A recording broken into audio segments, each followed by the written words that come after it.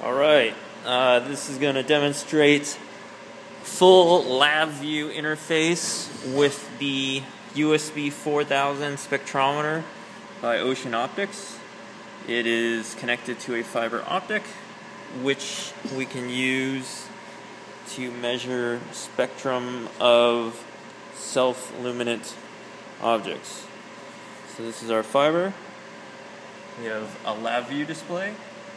It's currently showing nothing. It's just poorly scaled. If I point the fiber to the ceiling, you can sort of see the scale. And if I shine a light into the fiber, you can see that the spectrum is jumping way off.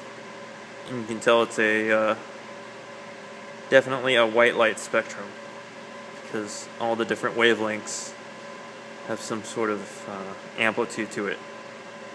So uh, I think this confirms that we can now talk to the uh, USB 4000 Ocean Optics spectrometer with LabVIEW.